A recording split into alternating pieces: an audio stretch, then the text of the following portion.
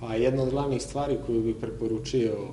mlađim generacijama jeste da na društvenim mrežama mogu stvarno da dobiju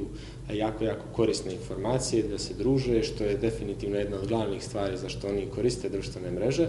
ali e, jedna od bitnih stvari koju treba da im bude savjet jeste da kada prihvataju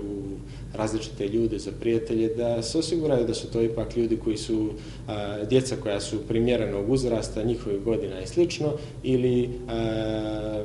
ljudi i osobe koje oni već poznaju. Znači, prihvatanje prijatelja koje ne poznaju, koji pričaju druge jezike sa kojim nemaju nikakav kontakt što mogu da vide kakve su im veze preko Facebooka i drugih društvenih mreža sa, sa tim osobama, nema potrebe da prihvataju svoje prijatelje. I to je jedna od e, najboljih vidova zaštite, čime bi mogli da iskoriste one najljepše stvari koje društvene mreže nude.